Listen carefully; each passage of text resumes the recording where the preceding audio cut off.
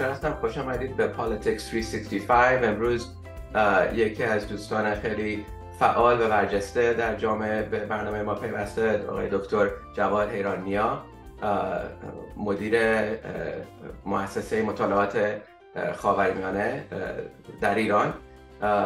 واقعا خیلی ما خوشحالیم که سعادت این آشنایی رو با دکتر داریم. مدت هاست ما مقاله که ایشون نوشتن و انتشار کردن در شبکه های مختلف خاورمیانه ما مراجعه کردیم بهش. روشن کرده ما رو واقعا. دیدگاه ایشون در این مطالب واقعا خیلی تکه و حتما می‌خواستیم به برنامه دعوتشون کنیم که به ما کمک کنن. واقعا به اصطلاح جهت ایران رو در خاورمیانه روابط بین ایران در خلیج فارس و بیشتر ما باش آشنایی پیدا کنیم. همونطوری که همه دوستان می‌دونن این ور آب ما همیشه یه جو قضیه رو می‌بینیم و در ایران و خاورمیانه یه جو دیگه هستش. خلاصه خیلی خوشحالیم دکتر که به برنامه پیوستین. اگه لطف کنیم یه ذره خودتون رو بتون مختصر معرفی کنیم و بریم به اصل قضیه. خواهش می‌کنم. عرض سلام دارم خدمت حضرت عالی و مخاطبان این برنامه. خیلی ممنونم از اینکه من رو به این برنامه وزین دعوت کردین. امیدوارم که بحثی که ارائه میشه متوجه مختلفی از قرار بگیره من جواد حیرانیا هستم دکترای روابط بین الملل و مدیر گروه خلیج فارس مرکز مطالعات استراتژیک خاورمیانه و خب چند سالی هم هست که برای در واقع اتاق فکرهای شورای آتلانتیک استیمسون مرکز مطالعات خاورمیانه کمبریج در واقع مقالاتی نوشتم و ارائه دادم در حوزه های مختلفی که مربوط به مسائل خاورمیانه هست و به ویژه در واقع روی کرده ایران به این مسائل در واقع مد نظر و تمرکز من بوده. خیلی ممنون. مرسی دکتر. این چند ماه اخیر واقعا چند یک سال اخیر ما هم همه شاهد خیلی به اصطلاح میشه گفت ما رو و حرکت های بین شدیم در ایران که واقعا دنیا رو غافلگیر گرفته. مثلا مخصوصا روابط جدیدی که ایران با سعودی عربیا برقرار کرده. خب کاری هم که می‌بینیم در خاورمیانه داره اتفاق میفته اگه لطف کنین یه ذره توضیح بدین این چند ماه اخیر واقعا هدف ایران چی بوده در این مطالب؟ و ما چه نوع بهره برداری می‌تونیم بکنیم؟ از این برای آب که واقعا هدف چیه نتیجه چیه و آتیه چیه؟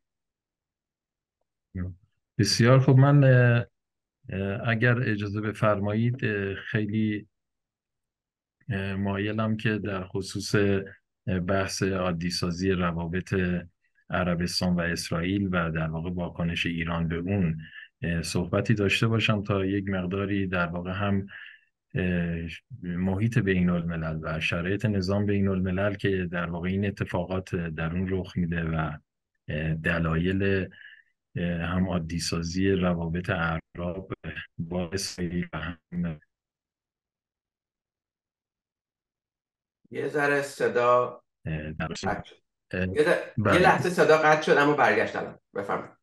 و در واقع واکنش ایران به این مباحث و اینکه در واقع بر اساس چه دلایلی طرفین به هم به تنش صدایی از یک طرف و هم به در واقع موازنه قوا از طرف دیگه روی آوردن. خب اگر بخوایم مشخصا درباره سیاست ایران در خصوص عادی سازی روابط عربستان و اسرائیل صحبت بکنم دو بخش رو در واقع بعد مورد بررسی قرار بدم. یکی بحث عادی سازی روابط برخی کشورهای عربی مانند امارات بحرین سودان و مراکش که به صورت دو جور اتفاق افتاده با اسرائیل و بحث عادی سازی دو فکتوی عربستان با اسرائیل و تاثیر در واقع این عادی سازی روابط بر اسرائیل ایران و واکنش ایران در واقع به این عادی سازی هست. خب برای بررسی بخش اول در واقع لازمه که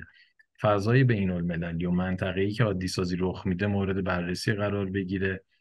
خب مستظر هستید که کشورهای عربی منطقه در راستای مواجه با واقعیت های ناشی از تغییرات سیستمی و منطقه‌ای اطلاف و اتحادهای جدید رسمی و غیر رسمی رو شکل دادن تا از رهگذر اون بتونن تهدیدها و درگیری منطقه خلیج فارس و فراتر از اون در منطقه خاورمیانه رو مدیریت و حل بکنن. خب مهمترین عامل تاثیرگذاری که در حال حاضر بر معمای جدید امنیتی منطقه خلیج فارس اثرگذار هست متغیر سیستمی هست که ناشی از در واقع تغییر راهبرد سیاست خارجی آمریکا به صورت کلان و نسبت به منطقه خلیج فارس در سطح خورده این نگاه کلان در واقع ناشی از نظم در حال بین المللی هست که در واقع از یک نظم هژمونی که در واقع شیفت پیدا کرده به رقابت قدرت های بزرگ که در نتیجه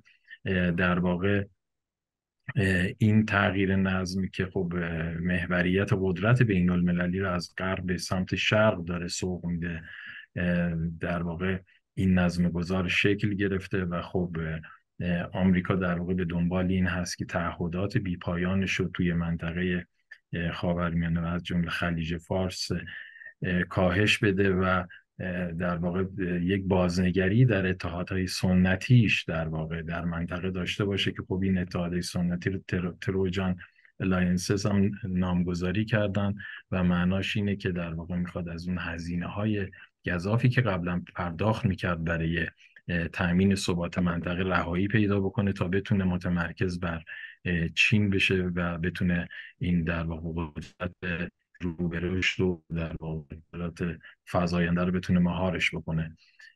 خب در واقع آمریکا به دنبال اینه که حضورش در خلیج فارس به گونه ای باشه که مانع سیاست مهار چین نش نباشه و از طرف دیگه از دیپلماسی در منطقه به همین منظور حمایت می‌کنه و بر همین اساس از در واقع روند گفتگوهای بین ایران و عربستان هم حمایت کرد.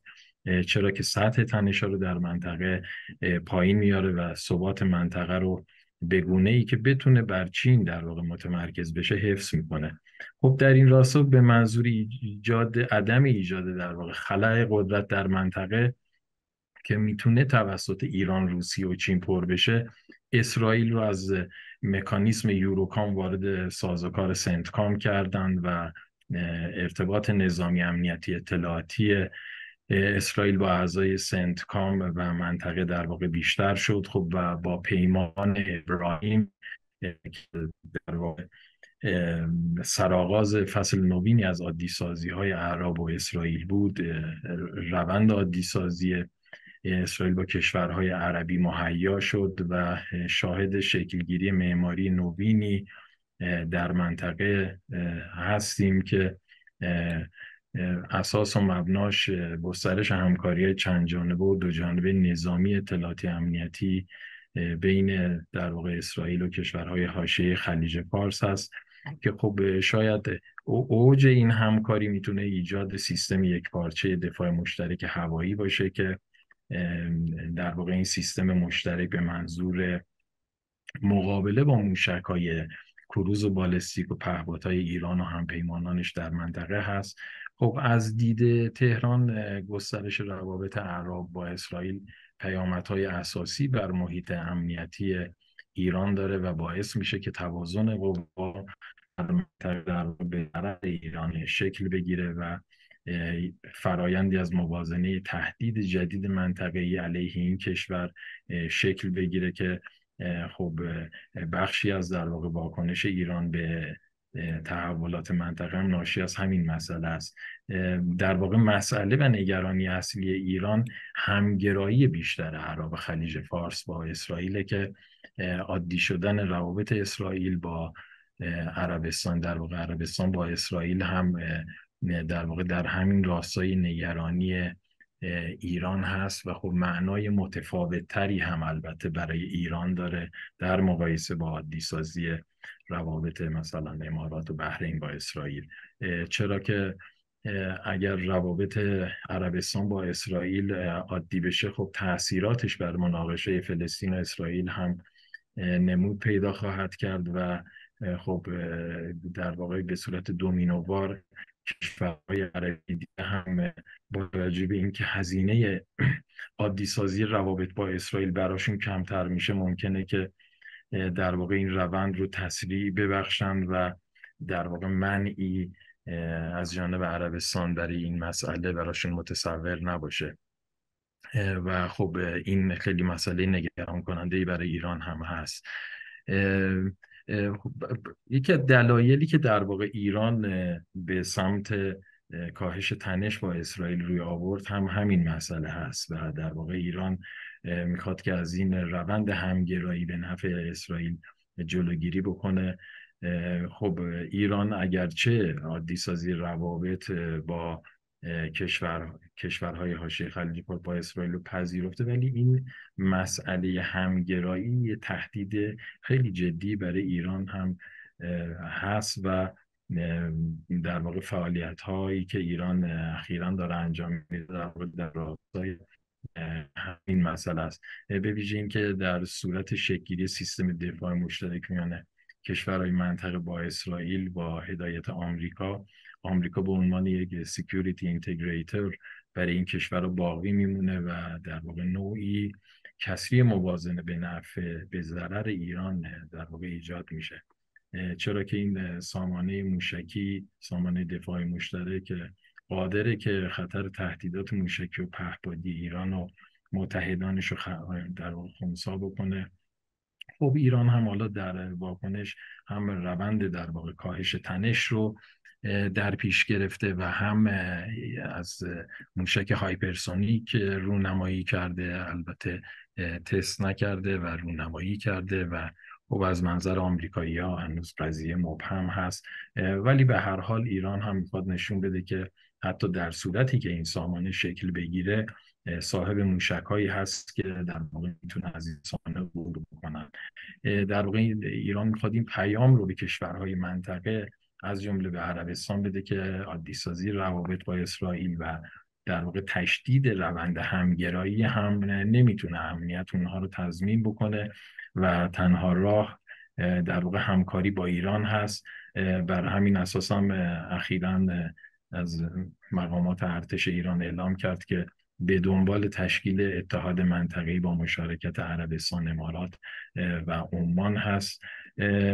عربستان هم در واقع از تنش زدایی با ایران در واقع اهدافی رو داره و در واقع اون هم به دنبال منافعی هست که در قالب سند چشمانداز بی سیش در واقع برای خودش ترسیم کرده و به نظر می‌رسه در حال حاضر نوعی در واقع رو در هست نش صدایی با ایران و در واقع به نوعی می‌خواد که صلح سردی با ایران برقرار باشه و در واقع اون تنش ها و درگیری های ایران و اسرائیل دامن این کشور رو به صورت مستقیم نگیره و خودش رو در واقع از تارگتی تارگت هایی که تارگتی که در واقع ایران یا هم پیمانانش می‌تونن حالا در خلال جنگ احتمالی در واقع بهره ببرن خودش رو از اون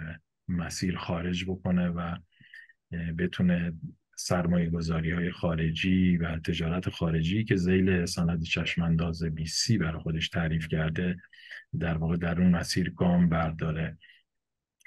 خب از طرف دیگه ای هم ریاض در واقع با زنده نگه داشتن و باز نگه داشتن موضوعات دیسازی روابط با اسرائیل به دنبال نوعی بازدارندگی مقابل ایران هم هست. شاید تا به نظر از یک طرف در واقع تنش زدایی رو دنبال می‌کنن و از طرف دیگه در واقع ایجاد موازنه مقابل همدیگر رو دنبال می‌کنن و این حالا موضوعیه که در واقع در یکی از مقالات راجع به بحث ایران و آمریکا به عنوان پلن سی در واقع ازش یاد شده بود و به نظر می‌رسه که این تعبیر رو اینجا همیشه به کار برد در عین اینکه در واقع این کشورها به دنبال تنش زدایی هستن از طرف دیگه اون اهرم ها و چماق های خودشون و اون در واقع قدرت بازدارندگیشون رو هم افزایش میدن. حالا چه در اعتلاف با سایر کشورها که در واقع یه جور موازنه بیرونی هست و چه با در واقع قراردادهای تسلیحاتی که منعقد می‌کنن یا گام هایی که برای بومیسازی ساخت تسلیحات برمیدارن که موازنه درونی نام برده میشه مثل در واقع همکاری که عربستان با چین داره و تولید موشک یا تولید پخپاد یا حتی در واقع برنامه هسته عربستان.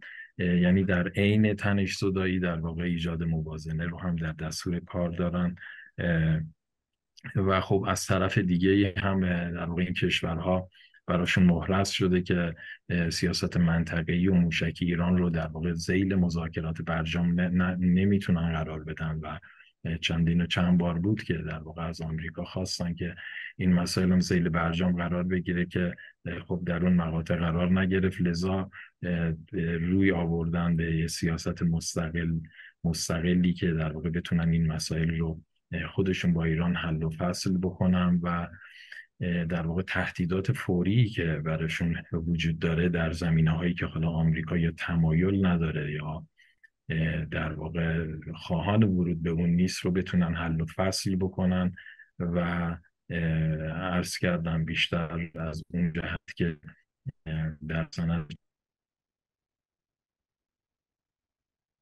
از طرف دیگه در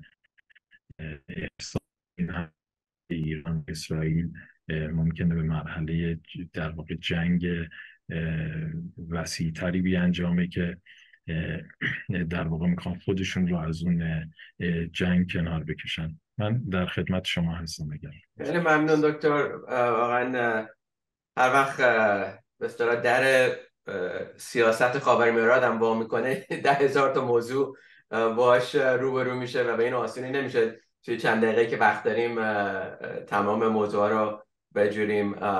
توی این واقعا یه دقیقه که وقت داریم چه پیش بینی می‌کنین شاید در روابط در این شش ماه دیگه؟ یعنی مثلا با توجه به روابط اقتصادی و هدفی که این کشورها دارن که یه جوری روابط اقتصادیشون رو دوباره برقرار کنن. واقعا تو این شش ماه ممکنه یک ساله دو ساله این شش ماه دیگه چی, چی می‌بینین؟ در چه پیش بینی می‌تونیم بکنین در روابط؟ مسئله مهم و اساسی که در واقع الان وجود داره اینه که در واقع این روند تنش زدایی که شروع شده در واقع چقدر می‌تونه پایدار باشه. در واقع خب یه سری عوامل باعث شده که این کشورها در واقع به تنش زدایی روی بیارن و عرض کردم یه بخشیش مسئله ساختاری و نظام بین الملل هست یه بخشیش در واقع منطقه‌ای هست و بخشیش هم داخلی هست که حالا خیلی فرصت نشد که اینجا مورد اشاره قرار بگیره.